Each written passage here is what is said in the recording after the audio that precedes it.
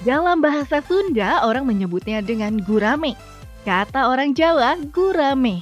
Lain dengan masyarakat Jambi, mereka menyebutnya sebagai ikan kalui. Tapi dalam bahasa Palembang, gurame disebut sebagai ikan kali. Unik ya pemirsa, tapi apa pun namanya, ikan gurami adalah ikan favorit saya. Bagaimana dengan Anda? Diolah dengan cara digoreng atau dibuat sup. Hmm, siapa yang bisa menolak kelezatannya? Ikan gurami adalah jenis ikan air tawar.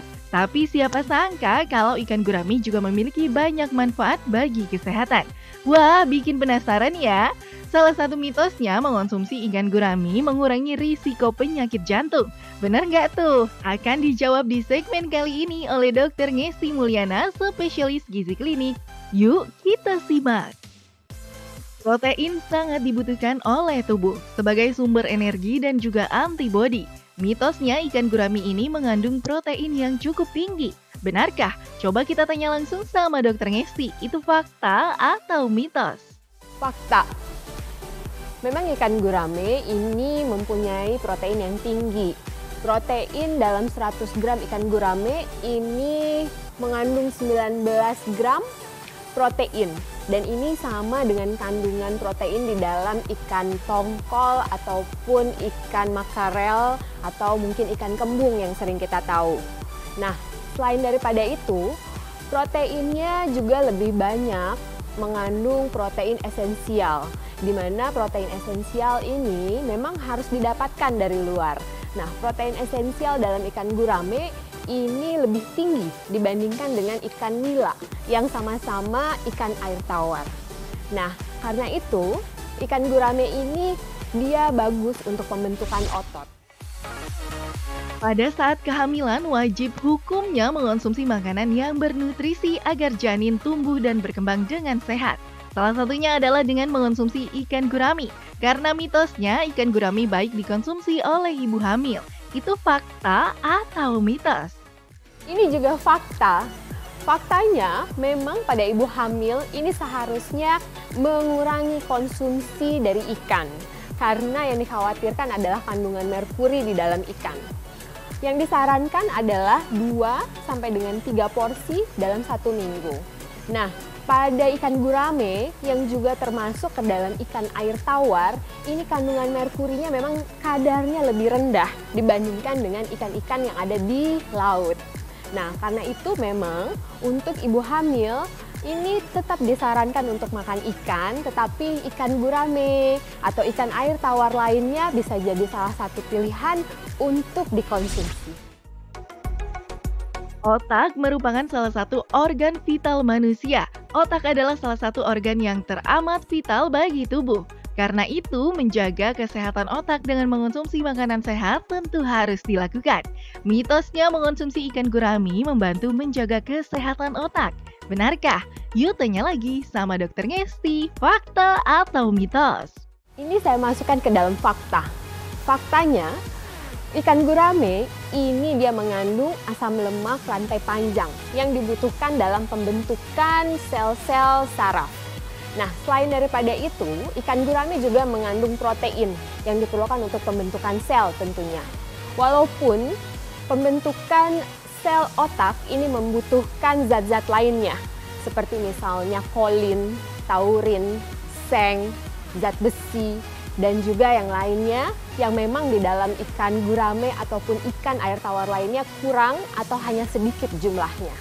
Jadi sebenarnya ini ikan gurame bisa dikonsumsi untuk perkembangan otak janin tetapi tetap harus mengkonsumsi ikan atau bahan makanan sumber lainnya yang mengandung yang saya sebutkan tadi untuk membantu pertumbuhan otak janin.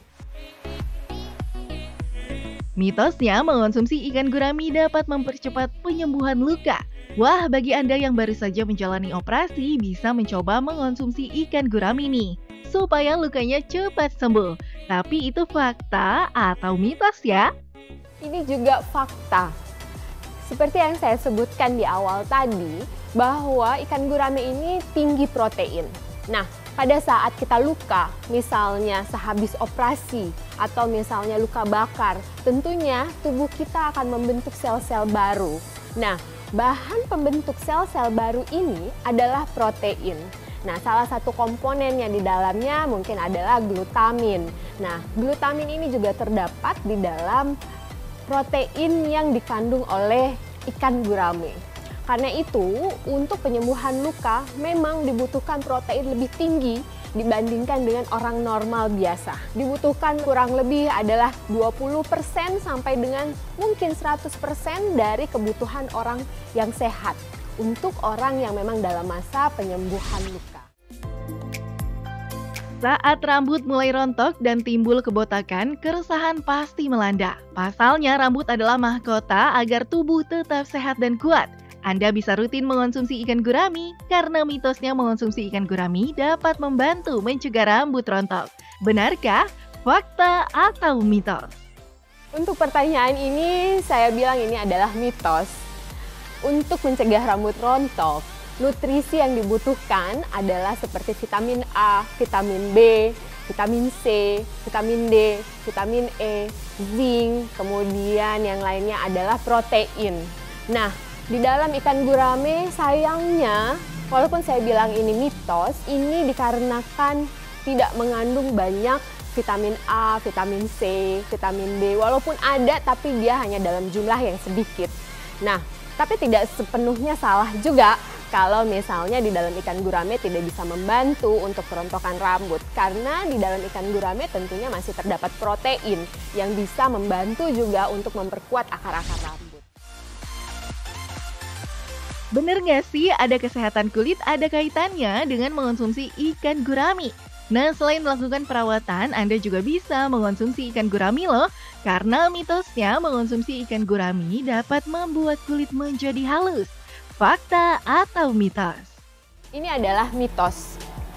Seperti yang kita sudah tahu bahwa makanan yang kita makan ini berpengaruh terhadap kesehatan kulit wajah kita beberapa nutrisi yang memang mengandung zinc, mengandung niacin, mengandung vitamin B2, vitamin E, dan juga retinol. Ini bisa menghaluskan kulit, bisa mencegah jerawat, dan sebagainya. Tapi sayangnya di dalam ikan gurame atau ikan air tawar ini tidak mengandung terlalu banyak zat-zat yang saya sebutkan tadi. Nah, akan tetapi sebenarnya protein yang dikandung di dalam ikan gurame ini bisa mencegah penuaan dengan proteinnya. Nah, protein ini dia akan memproduksi kolagen sehingga mencegah penuaan. Tapi selebihnya mungkin tidak bisa menghaluskan kulit. Menurut WHO, tingkat kematian akibat penyakit jantung menduduki tempat tertinggi. Salah satu penyebabnya adalah tingginya kolesterol dalam darah yang disebabkan konsumsi makanan yang mengandung lemak jenuh. Nah, mitosnya mengonsumsi ikan gurami dapat mengurangi risiko penyakit jantung. Benarkah? Fakta atau mitos? Ini fakta. Faktanya, memang pada ikan gurame ini kandungan lemaknya sedikit sekali. Kandungan lemaknya sekitar 3 sampai dengan 4 gram dalam 100 gram ikan gurame. Nah, dan di dalam ikan gurame juga mengandung asam lemak rantai panjang omega 3. Asam lemak rantai panjang omega 3 ini mempunyai efek protektif terhadap jantung dan pembuluh darah. Tetapi harus diingat, bagaimana cara memasaknya? Karena seperti yang kita sudah tahu bahwa lemak jenuh yang berasal dari santan, berasal dari minyak goreng, ini tentunya mempunyai efek yang merugikan untuk jantung dan pembuluh darah kita. Sehingga jika Anda ingin mengkonsumsi ikan gurame yang lebih sehat, tentunya harusnya memilih dengan cara dibakar misalnya atau mungkin dipepes, tidak gurame yang digoreng. Bagaimana menjaga kesehatan mata? Tentu dengan mengonsumsi buah dan sayuran membantu menjaga mata Anda tetap sehat. Merubah kebiasaan juga perlu dilakukan. Salah satunya dengan tidak berada lama di depan komputer. Nah, mitosnya mengonsumsi ikan gurami menyehatkan mata. Benarkah? Yuk coba tanya lagi sama dokter Ngesti. Itu fakta atau mitos? Ini adalah mitos karena di dalam ikan gurame dia tidak banyak terdapat vitamin A yang dibutuhkan untuk mata dan juga antioksidan. dalam 100 gram ikan gurame ini mempunyai kandungan 47 mikrogram dari vitamin A. Sementara angka kecukupan gizi untuk orang Indonesia ini sekitar 600 sampai dengan 650 mikrogram untuk vitamin A. Sehingga memang ikan gurame ini tidak masuk ke dalam bahan makanan sumber untuk vitamin A. Karena itu, ikan gurame ini merupakan mitos apabila bisa membantu kesehatan mata. Wah, ternyata ikan gurami mengandung banyak manfaat bagi tubuh ya. Tapi sebelum Anda makan olahan ikan gurami, yuk simak dulu tips dari dokter gizi berikut ini agar manfaat sehat dari ikan gurami bisa Anda nikmati. Ikan gurame dapat menjadi salah satu pilihan alternatif untuk protein hewani kita semua. Kenapa? Ikan gurame memang tinggi protein, tapi beberapa nutrisi di dalamnya memang tidak banyak dikandung oleh ikan gurame. Karena itu, walaupun kita mengkonsumsi ikan gurame, kita tetap harus mengkonsumsi bahan makanan sumber protein yang lainnya, seperti misalnya ikan air laut, ataupun daging, ataupun ikan. Karena ikan gurame tinggi protein dan bisa didapatkan di mana-mana karena ikan gurame ini termasuk salah satu ikan air tawar yang banyak dibudidayakan di Indonesia tentunya. Untuk mendapatkan manfaat yang lebih maksimal dari ikan gurame, maka kita harus mengolahnya dengan cara yang lebih baik. Seperti misalnya dibakar ataupun misalnya dipepes, sehingga kandungan lemak jenuh di dalam ikan gurame tidak ditambahkan dari cara pemasakan kita.